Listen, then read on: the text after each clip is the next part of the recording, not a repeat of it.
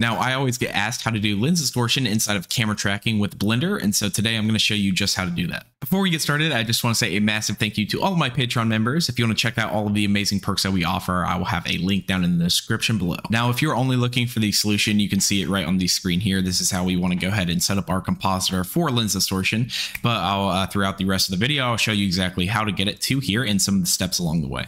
Okay, so let's go ahead and jump into it. I went ahead and camera tracked this scene already. I have plenty of tutorials going exactly how I did it. But as you can see, the only thing I've done is I set up the background and tracking scene and then went ahead and set up our floor and everything like that. Again, super, super simple. I'll have some videos down in the description below if you want to see exactly how I do it.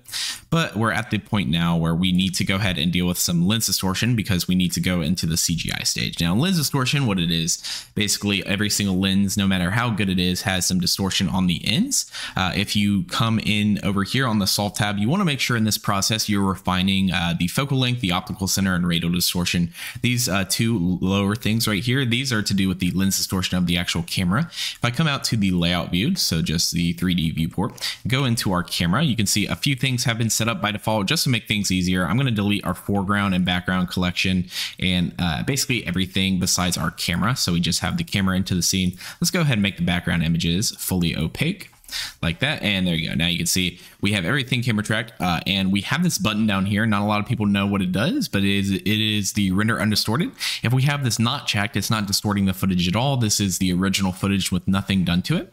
Uh, but since it has it checked by default, you can see it's adding some distortion into it. It might be a little bit hard to see, but over here, it's actually stretching out the actual footage so that it adds the lens distortion into the actual camera. Now, depending on what camera you actually use, it might have more distortion, it might have less. Uh, this is shot on my iPhone, and so you can see we don't have a ton of ton of distortion, but you can see that distortion is crushing the footage in. And so we just want to keep that in mind because some cameras actually will uh, push the uh, footage out. And so uh, depending on your lens, it will heavily affect the distortion.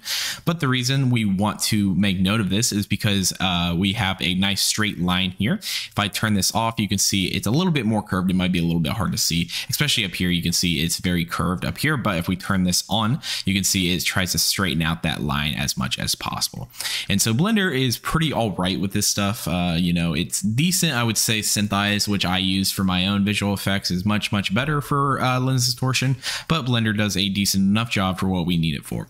Anyways, for lens distortion, uh, to go ahead and demonstrate this, I'm going to go add a mesh plane right here. And let's go ahead and try to orient the scene. I have this nice countertop that is uh, very straight on both the X and the Y axis. So we can go ahead and position that. Uh, now, real quickly, I do want to be uh, working inside of Eevee just for this demonstration purposes because we're going to be rendering out some tests so that we can see uh, some of this stuff. Next thing I need to do, let's go ahead and hit tab. I'm going to right click subdivide and then shift R to just duplicate that subdivision. Uh, the reason I'm doing this is because I want to have a nice grid. Uh, we want to have something to reference the ground plane and a grid is nice because it has a lot of straight lines and especially for lens distortion, we're going to be able to tell all that nice uh, detail. Anyways, let's come over here. We're going to add a wireframe modifier and that uh, basically does this so we can actually see our grid now. We can uh, bring the thickness all the way down. So we want it to be super, super skinny, but still noticeable. So something like that. And then I'm going to add a new material. We're going to, instead of principled BSDF, we're going to do an emission material. And let's just change this to like a red or maybe a blue or something that we can easily tell.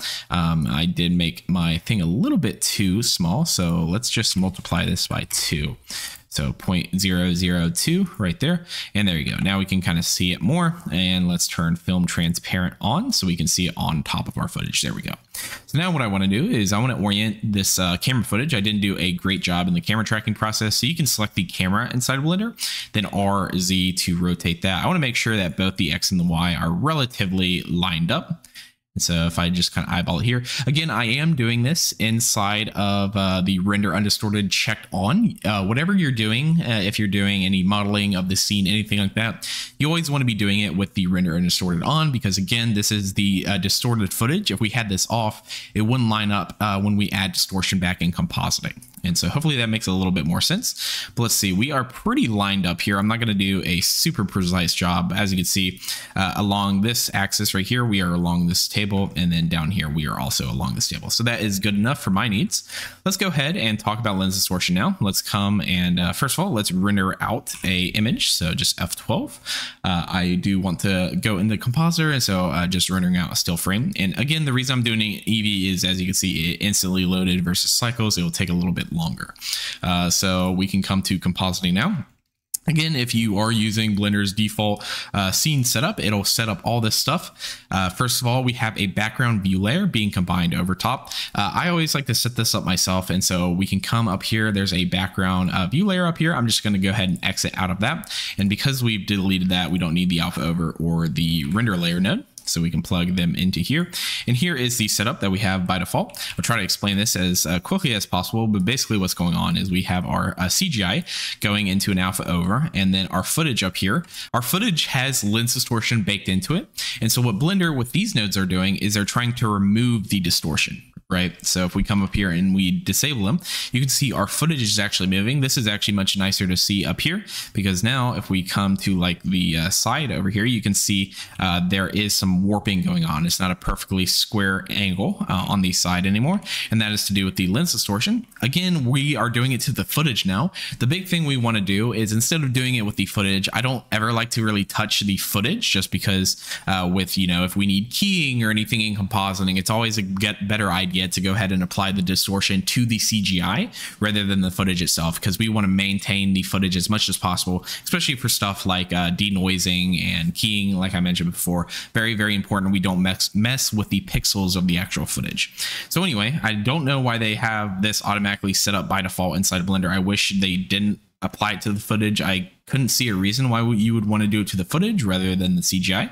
But anyway, uh, that is what these two nodes are doing. So that is applying that lens distortion we calculated using the camera tracking process super, super simple to go ahead and set this up. We have the CGI and that. Let's go ahead and remove this scale node. We don't need this anymore. We'll plug the movie into the alpha over.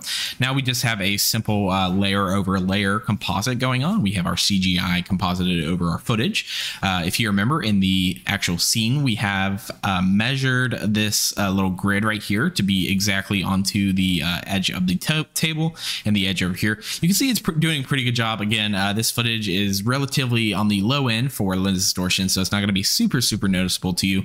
But you can notice if we come over here, uh, there is a bit kind of mismatching uh, over here. And so if you had anything on that section, it would look like it's not motion tracked correctly, most importantly. And then also if you're actually modeling uh, stuff out for CGI for the scene, say we're modeling out this counter to be a shadow catcher, that shadow catcher is going to look like it's not sticking uh, perfectly to the edge and stuff like that. So in order to get it to actually stick to the edge, we're going to put this movie distortion node uh, into the render layer socket. Again, we want to uh, go ahead and do everything lens distortion to our CGI, not our footage. And so we have this down here. Now by default, it's set to undistort. Undistort is for footage and then distort is for CGI. If you think about the entire process, uh, the footage natively has lens distortion into it. And so when we want to affect the footage, we want to undistort that lens. We want to get that lens distortion out. And so it would be undistorting the footage versus if we want to uh, add distortion into our CGI to match the distortion of our footage, we need to distort the uh, CGI. I know it's a little bit confusing when you uh, start out with. I remember being super confused about that because uh, I thought it should have been the opposite. But when you think about it, it makes a little bit more sense. Anyways, uh, we'll change undistort to distort down here. And now you can see it's distorting our CGI and that line that we have established in the uh, kind of uh, 3D viewport up here is perfectly matching in the compositor right here. You can see both the top and the bottom lines are perfectly matching now. And so this is the lens distortion correctly applied inside of Blender. There are a few drawbacks. Uh, to my knowledge, there aren't any workarounds to this yet natively inside of Blender. I wish there were. But the first being is certain distortion that you might have on your own footage might warp the uh, CGI up and then you're going to have a little bit of a seam down here. You know, uh, for my footage, since the distortion is pushing the CGI outwards, it's not going to uh, affect us too much. But uh, just keep that in mind. If you do have lens distortion, that's actually pushing the uh, shrinking the CGI in. Uh, I have a, another camera that I use that uh, the lens actually does that. you'll have a little bit of a thing down here. The only way, unfortunately, to do it inside of Blender natively, in in my experience, is to just crop in the entire image to remove that. Uh, that is not the ideal way. Uh, the ideal way would be to overscan the actual uh, thing and then to bring that in. Uh, there's actually a add-on I use if I'm doing a, a, professional camera tracking method and stuff using SynthEyes and Nuke for compositing. I actually have this add-on over here, uh, the overscan add-on. I'll have a link down below.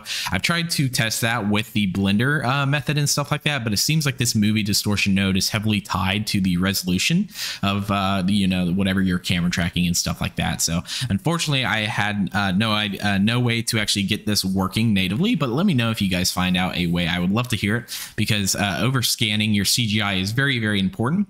Uh, now the final thing I quickly would just want to note before we end the, off this video is uh, when you're uh, distorting, it's going to be more pronounced at the edges. And so if I on and off this movie distortion, you'll see uh, it's very kind of sharp and stuff. Our CGI is over here.